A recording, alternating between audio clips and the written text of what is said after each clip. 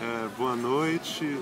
É, eu tô, tô, dirigindo um filme que vai passar na sexta-feira na Moça Brasília, produção do Transformando Pé de Melodia.